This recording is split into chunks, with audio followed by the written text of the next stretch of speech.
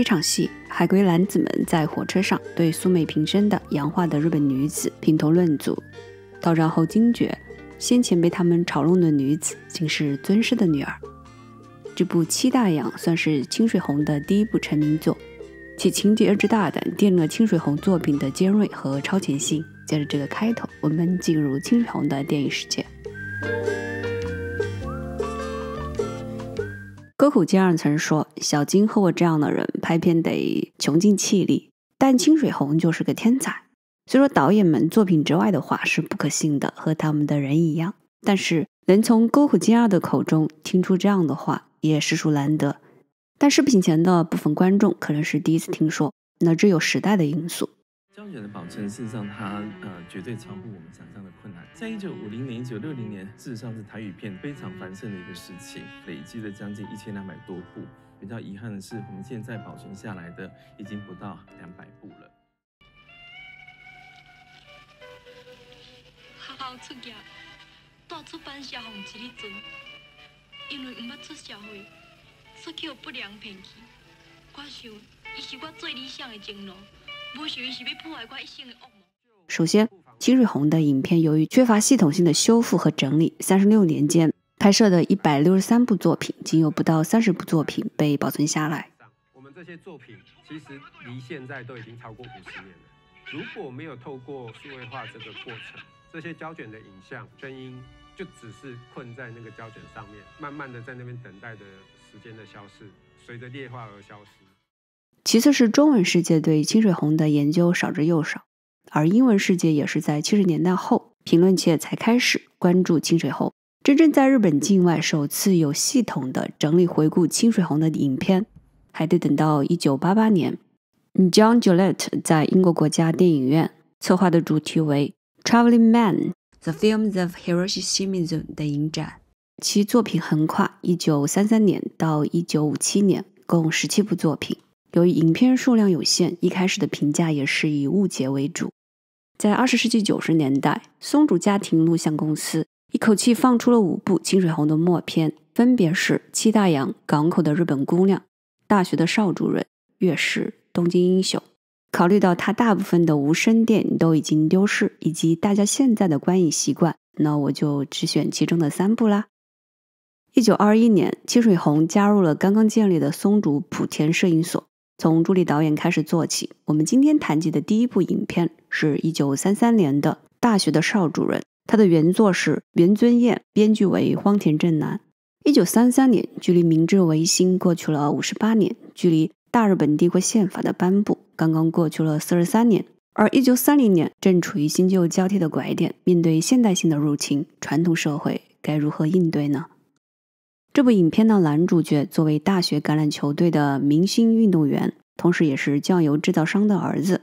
一开始是带着不屑的情绪面对家庭和学校对自己的规训，他也做了很多貌似对抗他们的举动。而为了凸显这位男主角的特权地位，影片放置了几个对照人物。他的玩世不恭对于他父亲手下的雇员而言是奢望。作为一名雇员，无论是自己的恋爱，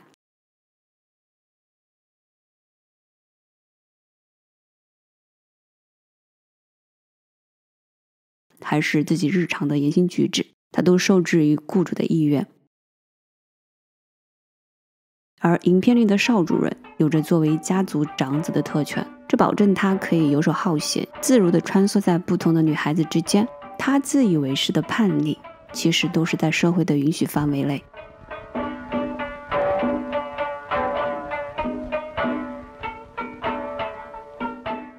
而相对应的，父亲的女儿们则被永远的限制在家庭内。大女儿被安排进入了婚姻，而小女儿也被指定了未婚夫。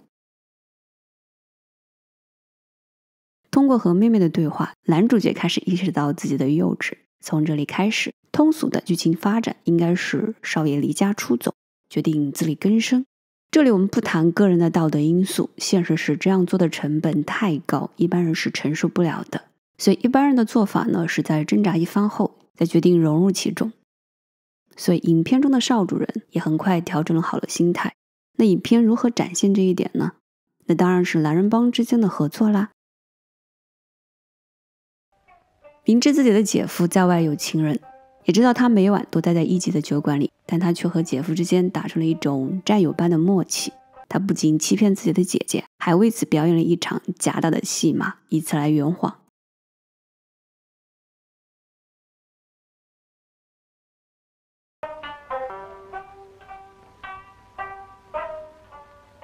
也就是说，这里有一条红线，夫妻双方都深知且遵守。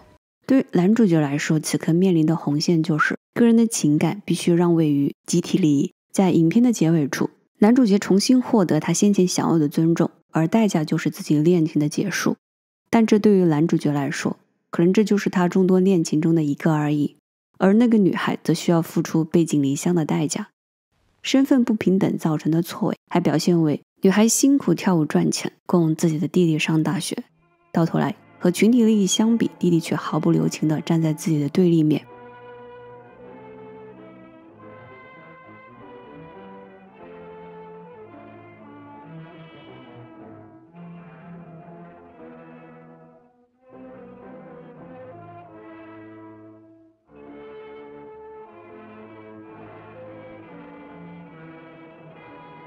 女孩的弟弟这个角色更像是传统社会的联合剂。将一些试图偏离这条轨道的人及时的拉回来。至此，这场世纪对决现代性完败，因为里面的所有人最后都是在传统社会的框架下完成了自我规训，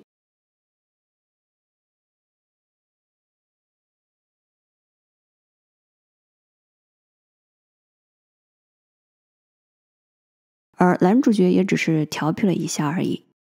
影片中唯一一个一直在反对传统价值观的小女儿，最后也在帮助自己的哥哥善后感情债。所以，现代性虽具有破坏性，但在传统价值面前，暂时还是起不了势的后浪。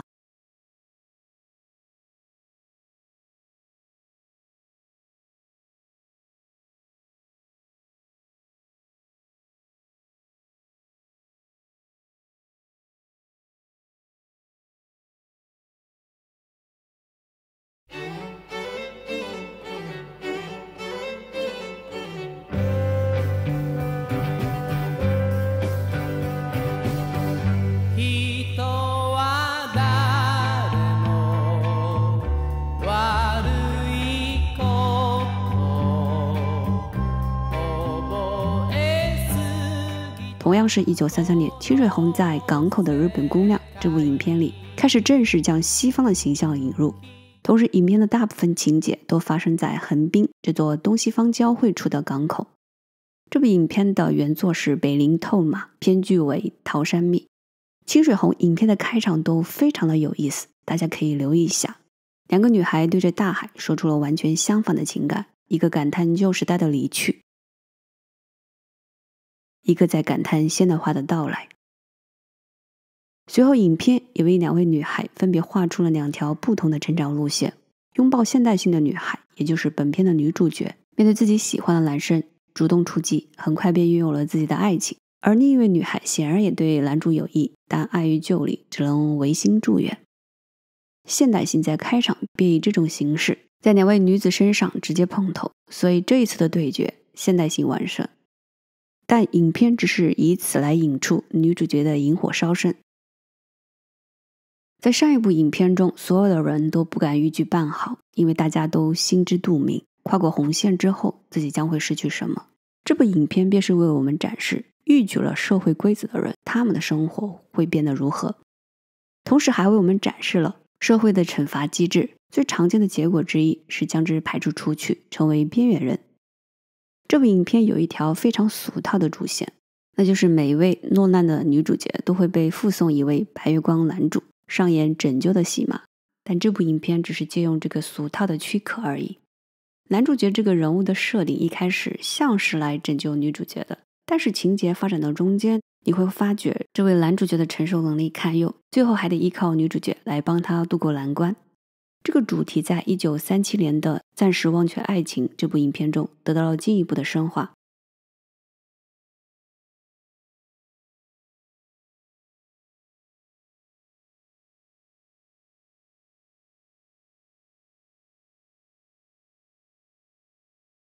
但是与1937年的那部影片不同的是，这里还设置了一个非常大胆的角色，一个主动决定依附于女性的男二号。看来创新只能从男二号入手，但乐见男性回归家庭的社会到现在还没有到来。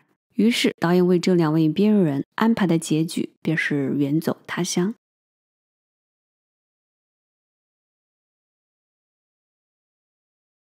金水红最后一部无声片是一九三五年的《东京英雄》，原作是原尊彦，编剧为荒田正男。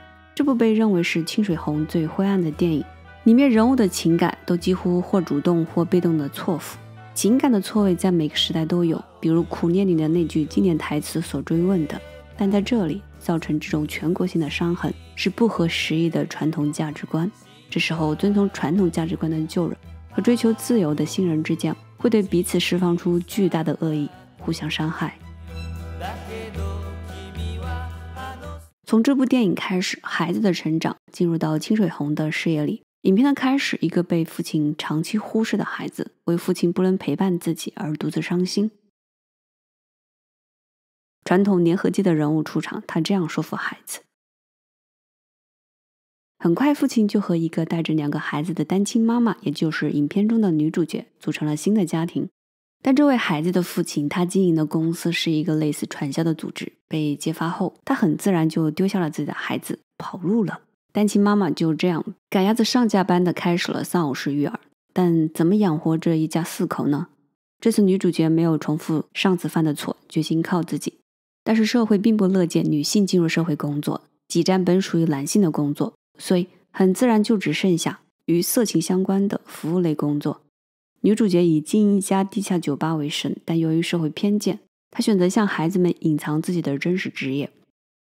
问题就此开始，孩子们在成长的过程中，本身就会伴随着持续的心碎和幻灭。再加上孩子们发现这么多年的感情是建立在欺骗的基础上，这种伤害性和无处发泄的怨气。可不会因为母亲都是为了自己这样的事实而抵消的。不要将孩子包裹在粉红色的泡泡里，不然被戳破，巨婴宝宝们会溅你一身粉红色的血哦。而影片开头那个被父亲丢下的孩子，他在得知真相之后，选择继续待在继母身边，那并不是因为他是个善良、懂得感恩的好孩子。而是因为他在很小的时候就已经被他的父亲上了一节亲情课。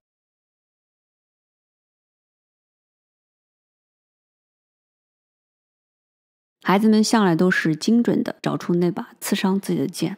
他在报纸上公开揭露他父亲公司的罪行，从此成为了东京英雄。影片的名字由此而来。但这不是无聊的师傅情节，是他自我愈合不了的伤口在试图做些挣扎。在无数次的徒劳的等待中，他一直试图搞清楚为什么父亲不陪在自己的身边。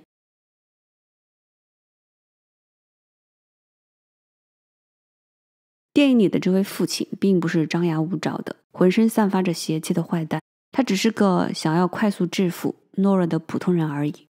考虑到当时日本的社会环境，快速致富的计划可以被视为一个更大的掠夺性企业的缩影，也就是当时日本政府口中的。大东亚共荣圈，但这对于大萧条期间的人们却具有致命的诱惑。清水红非常敏锐地捕捉到了这一点，并将之展现在自己的影片中。能做到这一点，已经一脚跨进了大师的行列。社会前进的过程中，那些不合时宜、偏颇的思想和习俗，会拖拽着每个人都进入这场实验场。最终，当每个人受的伤足够深时，也许抛弃他的时候，应该就要快到了吧。清水红默片时代的电影就介绍到这里啦，下期节目我们进入清水红的有声片，欢迎大家收听我的播客节目，视频下方都有相关的链接。播客节目可以看作是视频内容的背景补充，讲述日本的现代史，发现日本的现代性。我们下期节目见，拜拜。